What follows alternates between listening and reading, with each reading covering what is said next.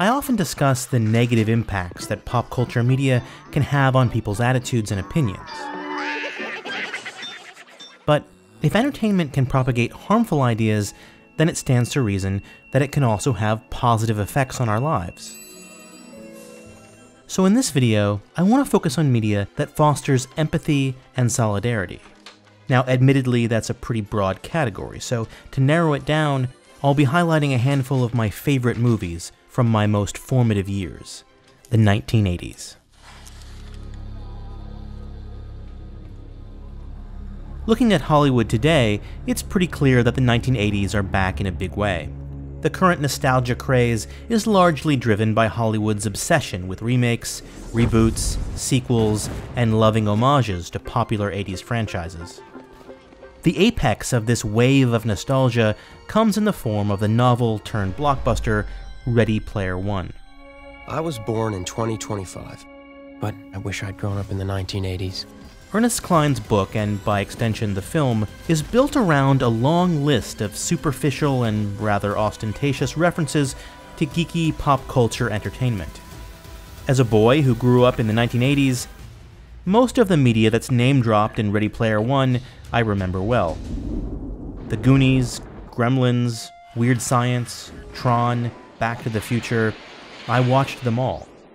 But thinking back to my childhood, the cinematic moments that had the most profound impact on me and my emotional development weren't necessarily from the most popular or iconic movies. The movie scenes that left the biggest impression on my young mind were unapologetically sappy and sentimental. Goodbye, Charlie. I love you. They're the moments that still put a lump in my throat, the ones that make my eyes water and my heart swell. They look like big, good, strong hands, don't they? Movie critic Roger Ebert once said that movies are empathy generating machines, by which he meant that we as viewers identify with the characters on the screen, and that helps us understand experiences and perspectives other than our own. Movies can also affirm the human spirit by showing us examples of what empathy and solidarity look like. Empathy is the ability to understand and share the feelings or emotions of others. Now, it's important to note that empathy isn't just feeling bad for the misfortunes of other people. Empathy is about feeling what others are feeling. Solidarity is when people from diverse backgrounds find a common cause, and then work together to achieve social change. You can think of solidarity as empathy put into collective action. So with those two definitions in mind, here's my personal list of five lesser known movies from the 1980s that helped shape our humanity.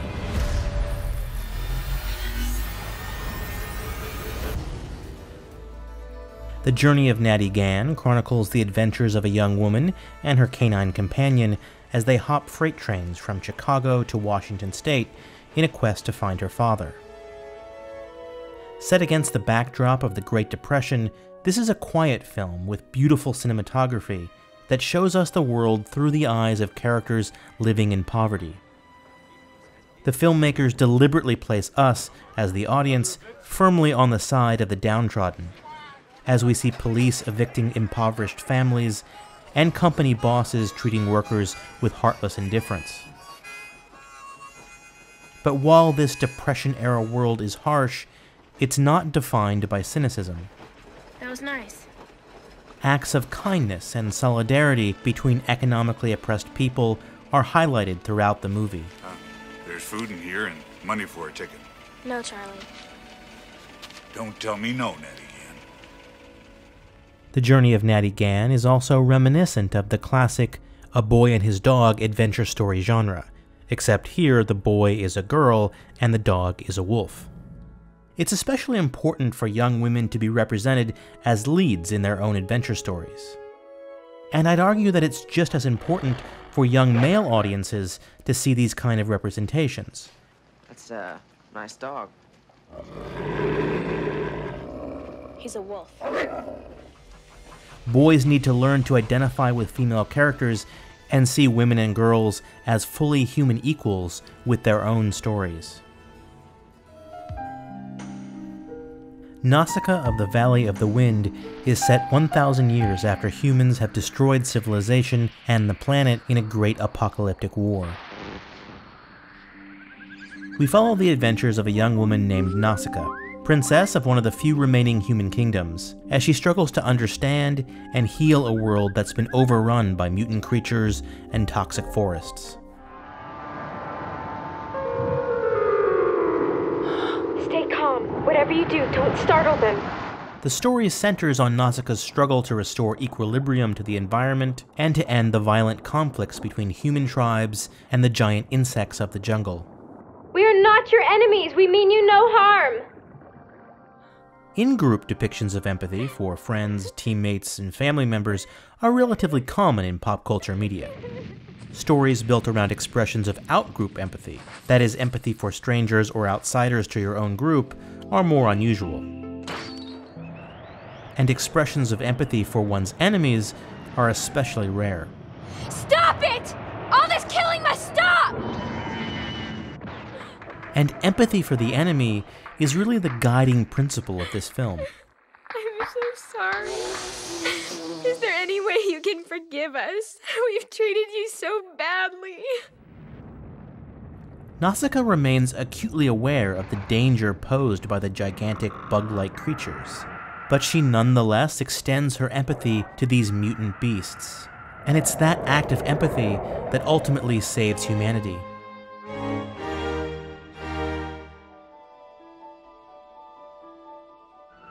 It has a range of 7,000 miles and a 20 megaton warhead. Amazing Grace and Chuck is about a small town boy who refuses to keep playing Little League Baseball because of the existence of nuclear weapons. And what the hell is this about? Just can't play. Can't play because there's nuclear weapons. What's that got to do with baseball? Nothing. But it's my best thing. I have to give up something.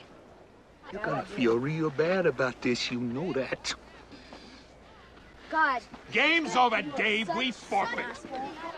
His protest inspires the professional basketball star Amazing Grace to join his strike, and together they organize a global movement for nuclear disarmament. Hi. Hollywood very rarely gets political activism right.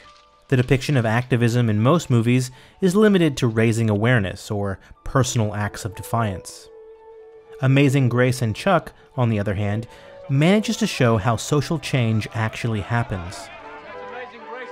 Social change is brought about when organizers raise social costs higher and higher until it becomes more advantageous for the powers that be to give in to people's demands than to keep opposing their cause. In the movie, we see this play out when so many athletes join Chuck's strike that it forces all professional sporting leagues to cancel their seasons. Has now effectively destroyed professional sports, most college athletics, high school sports, and even such things as Little League. So far, it has made a shambles of the World Cup, Wimbledon, and events as far away as India and mainland China. These protests raise social costs to the point where the public, the media, and world leaders have to pay attention. Hello, Chuck. And then begrudgingly take action. In the end, the world is radically changed.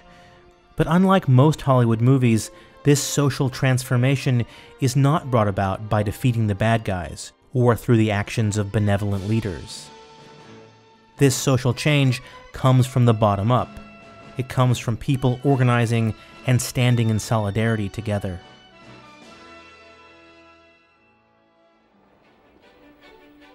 Harry and the Hendersons is about a typical white American family who accidentally hit Bigfoot with their station wagon. What if it's him? Who? Bigfoot. The family's relationship with this gentle giant, who they name Harry, ultimately changes their lives forever. this one really is better than a campy Bigfoot movie has any right to be. Over the course of the film, the empathy that Harry demonstrates towards other living creatures inspires the family to rethink their worldview, especially in regards to hunting and guns. The father, played by John Lithgow, undergoes an especially striking transformation. From avid hunter and firearms dealer to someone who, over the objections of his own father, learns to value nonviolence and embrace his creative side. Did you draw that?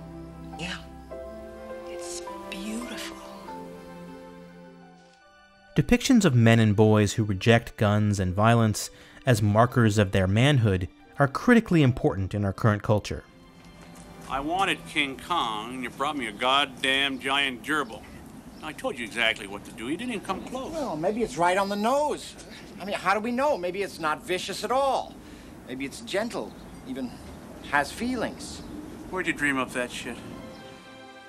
As this movie illustrates, there's no reason Hollywood can't present empathy as a defining feature of masculinity. Batteries Not Included centers on the tenants of an old New York City apartment building who are resisting a real estate tycoon's efforts to evict them in order to build a skyscraper. The residents are a band of down on their luck but kind hearted misfits who find unlikely allies in a group of mechanical aliens looking for a place to recharge. Our group of humans embrace their strange extraterrestrial visitors and they all work together to help their new friends by providing fuel and energy for the aliens' reproductive process. How's she doing? It happened. I'm a grandmother. In return, the mechanical life forms help the residents by repairing damage done to their building by the tycoon's henchmen. They're the fixers. They like to fix things. They have that knack. This story is really built around solidarity on all sides. The human tenants and the alien creatures come from very different backgrounds and have very different needs, but they still feel for each other and work to provide mutual aid and support. Going back and rewatching these unapologetically sincere and sentimental movies feels like an antidote to the superficial or ironic appeals to nostalgia that saturates much of Hollywood today. Dude. Now, I should say that none of the movies on my list are without their flaws. Like a lot of pop culture in the 1980s, some include racial stereotypes, and the stories mostly focus on the experiences of white people. Still, the core themes of empathy and solidarity had a profound impact on me and my values growing up. My list is, of course, a personal one, and therefore specific to my identity and my upbringing. Depending on your age, your gender, and your cultural background, your own list of movies will likely look quite a bit different. If I were making a list like this one, but for media from this decade, there are a handful of excellent movies that I definitely include. I've made video essays discussing a few of them, like WALL-E and Fantastic Beasts, which you can find elsewhere on this channel. But entertainment built around empathy and solidarity is still relatively uncommon in 2018. Which is too bad, because we really need more movies that embrace their role as empathy generating machines. I hope you enjoyed this look back at some of my favorite movies from the 1980s. If you'd like to see more of these long form video essays that examine the messages in our media, then please consider going over to Patreon and helping to fund this project there. There's also a link to PayPal in the description below.